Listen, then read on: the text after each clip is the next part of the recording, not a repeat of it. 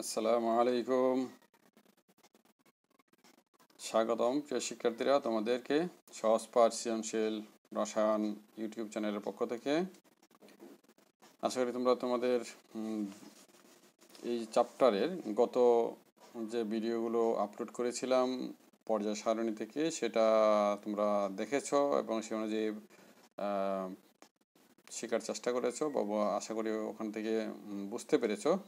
আর যারা বুঝতে পারেনি, কোনো সমস্যা হয়েছে, তারা আমাকে আমার ফেসবুক আইডি ইমেল এই মুহূর্তে স্ক্রিনে যা দেখতে পাচ্ছ ইমেল ঠিকানা দেওয়া আছে ফেসবুক লিঙ্ক দেখা দেওয়া আছে মোবাইল নাম্বার দেওয়া আছে ইমো বাইবার নাম্বার দেওয়া আছে, তোমরা আমাকে যে কোনো বিষয়ে রসায়ন সংশ্লিষ্ট যে কোনো বিষয়ে আমাকে ইনবক্স করতে পারো। আশা করি ইনশাল্লাহ তোমাদের যে কোনো প্রশ্নের সমাধান দেওয়ার চেষ্টা করব। তো আজকে আমরা একটা পার্ট নিয়ে আসছি পর্যায় সারণী থেকে, এটা পর্যায় সারণীর দ্বিতীয় পার্ট স্ক্রিনে দেখতেই পাচ্ছ, গল্পে গল্পে পর্যায় শ্রেণি অর্থাৎ নবম শ্রেণির রসায়ন এর চতুর্থ অধ্যায়ের পর্যায় সারণী আমরা গত দিন বিভিন্ন বিজ্ঞানীর, বিভিন্ন দার্শনিকের মতামতগুলো বা তাদের ধারণাগুলো অথবা তারা যে সকল বিষয় নিয়ে গবেষণা করেছেন সেই বিষয়গুলো আমরা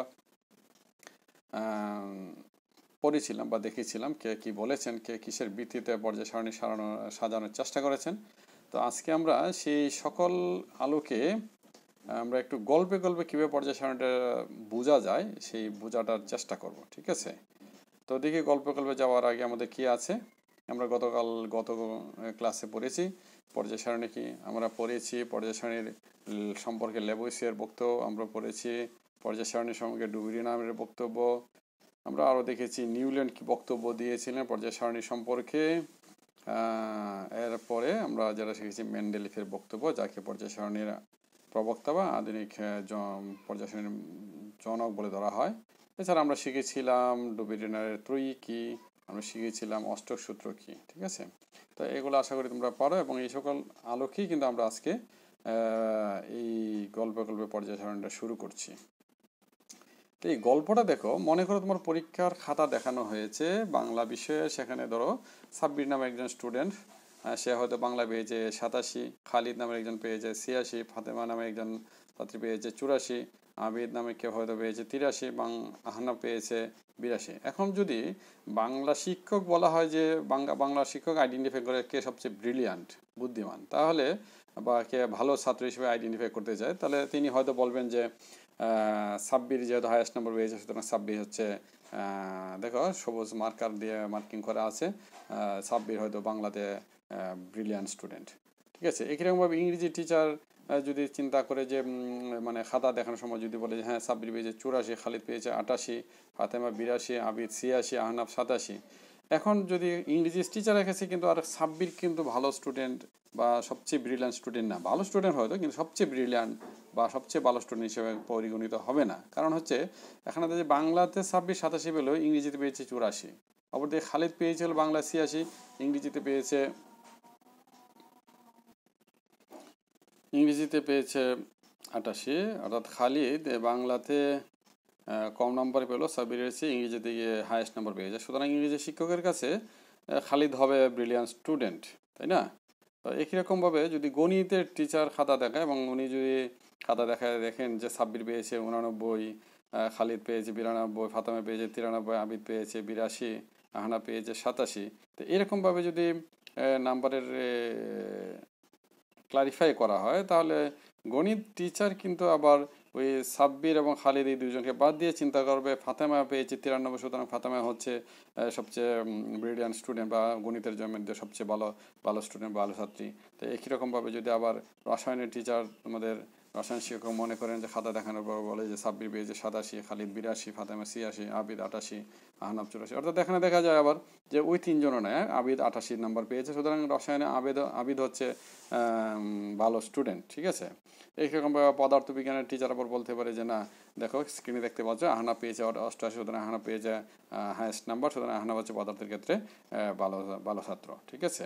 তো একই রকমভাবে জীববিজ্ঞানের টিচার মনে করতে পারে যে না, ফাতেমা তো জীববিজ্ঞানে হায়েস্ট নাম্বার পেয়েছে, সুতরাং ফাতেমা তো অন্য অন্য স্টুডেন্টের চেয়ে সে এখানে বিরাশি এখন দেখো, এই যে সাবজেক্ট কিন্তু বাংলা, ইংরেজি, গণিত রসায়ন, পদার্থ, জীববিজ্ঞান, ঠিক আছে? এইগুলো ঠিকই আছে। তোমরা একই ক্লাসে পড়ছো, একই বিষয়ে পড়ছো একই টিচার ক্লাস নিচ্ছে বাট দেখা যায় বিভিন্ন সাবজেক্টের নাম্বারের পরিমাণ ভিন্ন ভিন্ন হয়ে গেছে। সুতরাং এক এক টিচারের কাছে এক একজন স্টুডেন্ট তোমরা ব্রিলিয়ান্ট বা ভালো স্টুডেন্ট হিসেবে পরিচিত হচ্ছ। এখানে কিন্তু কাউকে ইন্ডিভিজুয়ালি আমরা বলতে পারছি না, এক এক টিচার এক একবার কিন্তু যখন তোমার যখন তোমার ক্লাস টিচার তোমার রেজাল্ট তৈরি করবে তুমি ইনি কি আর ইন্ডিভিজুয়ালি সাবজেক্টের ভিত্তিতে বলবেন? যে না। উনি কি করবেন উনি দেখবেন যে মোট প্রাপ্ত নম্বর কে কেমন পেয়েছে? দেখা যায় সাব্বির পেয়েছে পাঁচশো তেইশ, ঠিক আছে? সাব্বির পেয়েছে পাঁচশো তেইশ খালিদ পেয়েছে পাঁচশো ছাব্বিশ ফাতামে পেয়েছে পাঁচশো চব্বিশ, তারপরে আবিদ পেয়েছে পাঁচশো বাইশ আহনা পেয়েছে পাঁচশো একুশ। এখানে দেখা যায় যে না, পাঁচশো তেইশ ছাব্বিশ, চব্বিশ, একুশ, বাইশ, এগুলো নাম্বার পেয়েছে। এখন যদি নাম্বার এর ভিত্তিতে বিবেচনা, মোট নাম্বারের ভিত্তিতে বিবেচনা হয় ক্লাস টিচার বলবেন যে না, সাব্বিরনা, ফাতেমনা, আবিদনা, হানাফনাকে খালি সবচেয়ে বেশি নাম্বার পেয়েছে। So so he is the first student of the class ঠিক আছে? He is the meritorious he is the কী বলব, সবচেয়ে ভালো স্টুডেন্ট আর কি, ঠিক আছে? এই হিসাবে এবং রোল নাম্বার তো সে স্বাভাবিক আগে থাকবে। এখন এই যে আমরা ইচ্ছা করলে কোনো স্টুডেন্টকে ইন্ডিভিজুয়ালি সাবজেক্টের ভিত্তিতে তাকে ফার্স্ট সেকেন্ড থার্ড নিয়ে বানাতে পারি না। সবগুলো সাবজেক্টের প্রাপ্ত নম্বর ভিত্তিতে যেরকম আমরা তোমাদেরকে বিভিন্ন ক্লাসে ক্লাসিফাই করি ক্লারিফাই করি ফার্স্ট সেকেন্ড থার্ড নির্ধারণ করি। তো এরকমভাবে ঠিক আছে? বিজ্ঞানীরা বিভিন্নভাবে পদার্থগুলোকে, মৌলগুলোকে সাজানোর চেষ্টা করেন। যেমন বিজ্ঞানী লেবইসে ভৌত অবস্থার উপর ভিত্তি মৌলকে সাজানোর চেষ্টা করেন। তিনি তিনটি শ্রেণীতে বিভক্ত করেছিলেন। ঠিক আছে? ডুবিরিনের পারমাণবিক ভরের গড়ের উপর ভিত্তি করে নির্ভর নির্ধারণ করেছিলেন। নিউল্যান্ড এরকম পারমাণবিক ভরের উপর ভিত্তি করে অষ্টক মানে আটটা মৌল পর পর এইভাবে সাজিয়ে, আমি আগে হাতে বলেছিলাম, ক্লাস সরি সা, রে গামা পা, দা নিসা এই মানে স গানের সাতটি, আটটি স্বরের উপর ভিত্তি করে যেরকম সা, গা, সা, রে গামা পা, দা নিসা নির্ধারিত হয়, ঠিক এইরকমভাবে নিলেন অষ্টক সূত্র। অষ্টক নিয়মের সাহায্যে বা সরি সাজানো মৌলগুলো সাজানোর চেষ্টা করেন। এবং মেন্ডেলি পারমাণবিক ভরের ক্রমানুসারে বৌদ্ধ এবং রাসায়নিক ধরনের ভিত্তিতে সাজানোর চেষ্টা করেন। মেন্ডেলে কী করেছেন?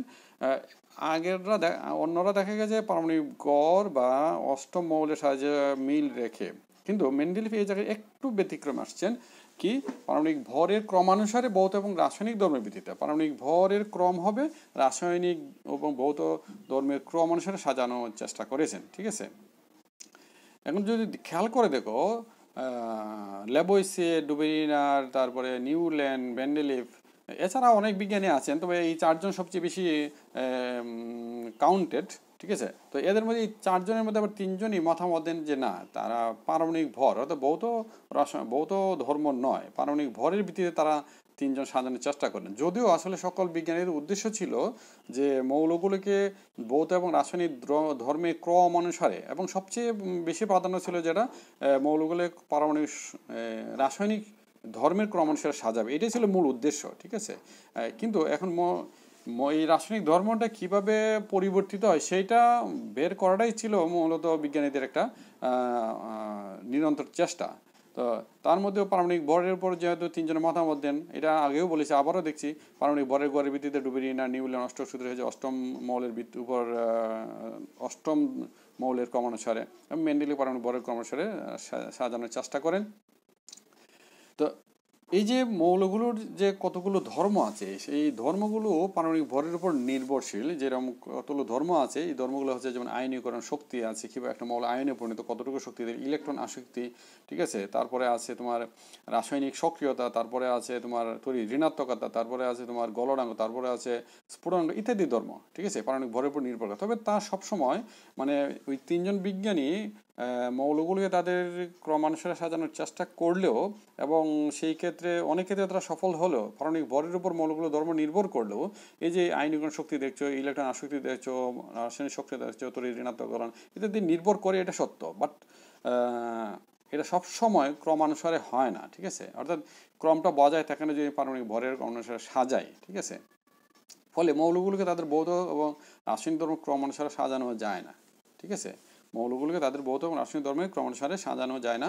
যেমন দেখো, আমরা যদি দেখি যে পারমাণবিক ভরের ভিত্তিতে আমরা যদি মৌলসমূহকে বিন্যাস করি, অর্থাৎ সর্বশেষে যে নিউল্যান্ড সরি বিজ্ঞানী মেন্ডিলিভ পারমাণবিক ভরের যে ক্রমানুসারে সাজানোর চেষ্টা করেছেন, সেখানে যদি আমরা উদাহরণ হিসেবে পটাশিয়াম, আর্গনের অবস্থান বিবেচনা করি, ঠিক আছে? তাহলে পটাশিয়ামের পারমাণবিক ভর হচ্ছে উনচল্লিশ আর্গনের পারমাণবিক ভর হচ্ছে চল্লিশ। তো এই হিসেবে পটাশিয়ামের স্থান হবে আর্গনের আগে স্থান দিতে হবে, ঠিক আছে? আর সেক্ষেত্রে পটাশিয়ামের অবস্থান হয় গ্রুপ আঠারো। অর্থাৎ মৌলগুলো যদি সাজানো হয় বিভিন্ন ভাগে, তাহলে এর স্থান হয় গ্রুপ আঠারোতে এবং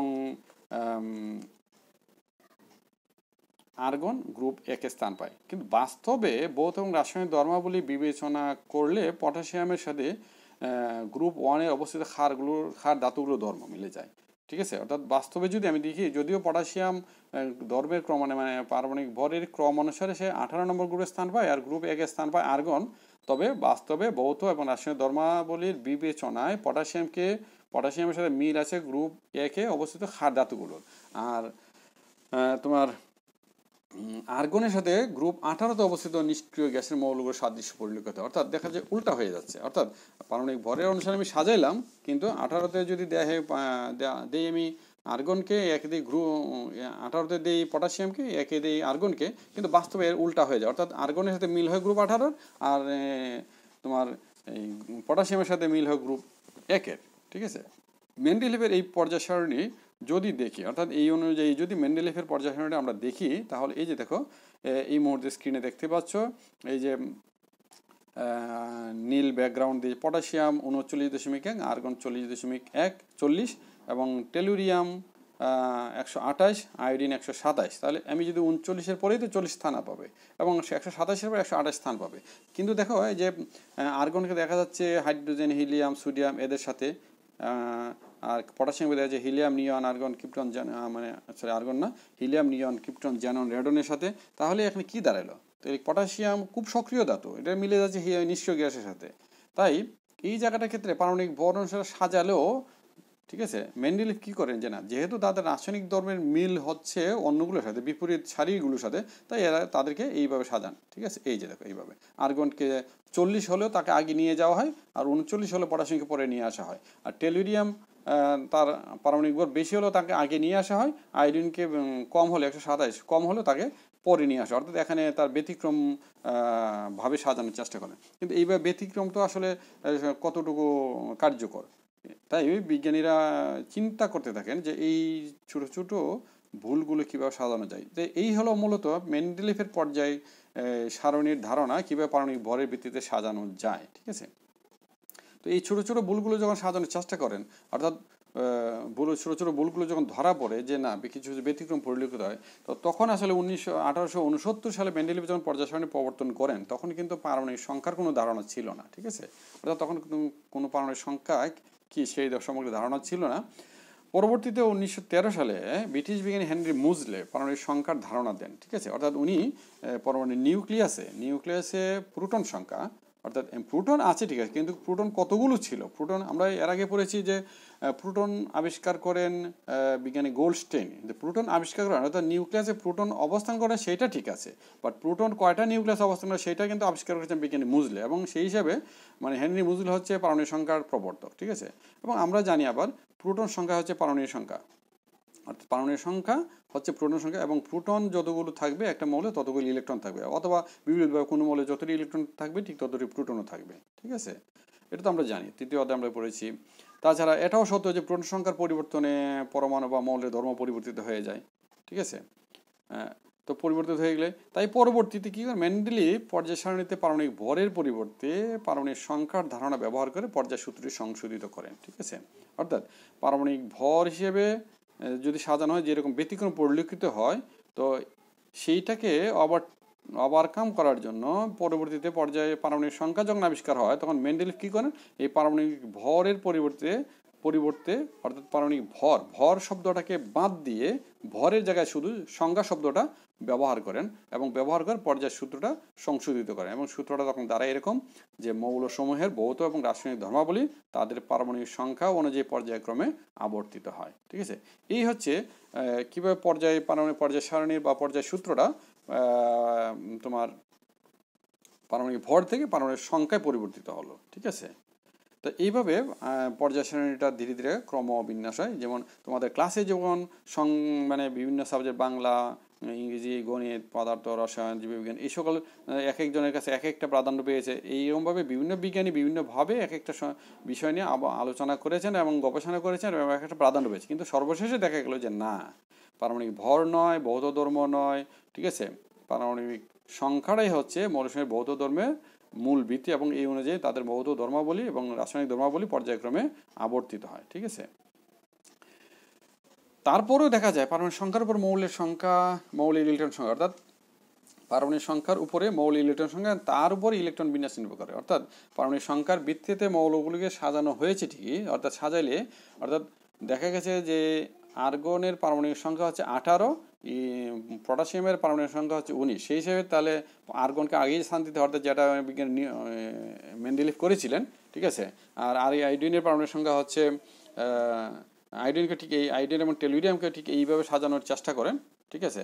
তো কিন্তু তারপর দেখা যায়, পারমাণবিক সংখ্যার উপর মৌলের ইলেকট্রন সংখ্যা এবং তার উপর ইলেকট্রন বিন্যাস নির্ভর করে, ঠিক আছে? অর্থাৎ পারমাণবিক সংখ্যা যখন আবিষ্কার হলো, তখন দেখা গেল যে একটা মৌল যেহেতু তড়িৎ নিরপেক্ষ, তাহলে পারমাণবিক সংখ্যা যত, মৌল ইলেকট্রন সংখ্যা তত।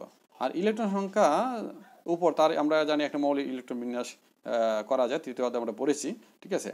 এবং এই ইলেকট্রন বিন্যাসের ভিত্তি করে মূলত মৌলের সময়ের ভৌত রাসায়নিক ধর্মাবলী নির্ভর করে। অর্থাৎ পরবর্তীতে দেখা গেলো যে পারমাণবিক সংখ্যা ঠিক আছে, মৌলগুলো ভৌত রাসায়নিক ধর্মাবলীর পর্যায়ে আবর্তিত হওয়ার মূল কারণ। কিন্তু একই সাথে দেখা যায় যে না আরও ক্লারিফাই হয়ে যায় যদি মৌলগুলোর ইলেকট্রন বিন্যাস আমরা ফলো করি, ঠিক আছে?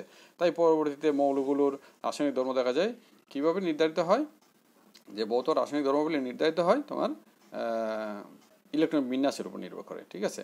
তাই কোনো মৌলিক বিন্যাসই মূলত তখন রাসায়নিক ধর্মাবলী নির্দেশ করে এবং এটাই সব, সবাই মেনে নেয় এবং আসলে বাস্তবতাই পাওয়া যায়। কারণ রাসায়নিক ধর্ম তো হচ্ছে মূলত মৌলগুলো ইলেকট্রন, আদান প্রদান, ইলেকট্রন শেয়ার, এগুলো এটা এটা আমরা শিখেছি অষ্টম অষ্টম শ্রেণীতে, অষ্টম অধ্যায়ে রাসায়নিক বিজ্ঞান চ্যাপ্টারে ঠিক আছে? তো তোমরা যে ক্লাস অষ্টম শ্রেণির বিজ্ঞান বইয়ের অষ্টম অধ্যায়টা, অর্থাৎ রাসায়নিক বিক্রিয়া চ্যাপ্টার পড়ে তো তাহলে সেটা আমরা জানি। ইলেকট্রন বিন্যাসে হচ্ছে মূলত রাসায়নিক বিক্রিয়ার মূল কারণ। তো এই জন্যই বর্তমানে ইলেকট্রন বিন্যাসকে পর্যায় সারণীর মূল ভিত্তি হিসেবে বিবেচনা করা হয়। তাহলে আমরা কি দেখলাম?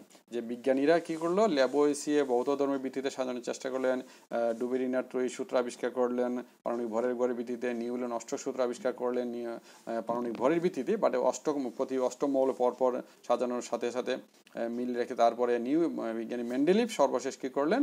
যে না, মৌলগুলো হচ্ছে মূলত পারমাণবিক ভরের ক্রম অনুসারে তাদের ধর্ম, রাসায়নিক ধর্মাবলী পর্যক্রমে আবর্তিত হয়। কিন্তু এর ফলে কি, এর পরবর্তীতে কি করলেন? যে না, মৌলগুলো হচ্ছে মূলত তাদের পারমাণবিক সংখ্যার উপর ভিত্তি করে, অর্থাৎ হেনরি মুজলে যখন পারমাণবিক সংখ্যা আবিষ্কার করলেন।